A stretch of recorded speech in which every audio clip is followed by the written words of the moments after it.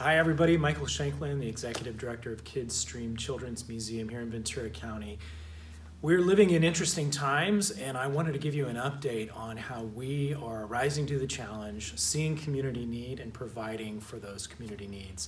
So, today is just a quick overview of uh, how busy we've been and what we're doing in the community to make sure that we have high quality children's museum experiences. We started our Streaming at Home series available online at our webpage, kidstream.org utilizing common household items that emphasized various aspects of STREAM science, technology, reading, engineering, art, and math.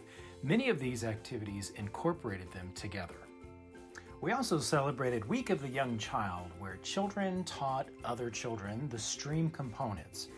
Technology was highlighted on making your own speakers. Mm, we can make some activities were really focused on young children as a result of our focus on early childhood education. Many of these activities included children reading uh, in Spanish to other children. We also included summer learning kits that provided children with the opportunity to dig in with materials and enjoy building things, discovering things, uh, in addition to that, we provided our parking lot for antibody testing for COVID 19.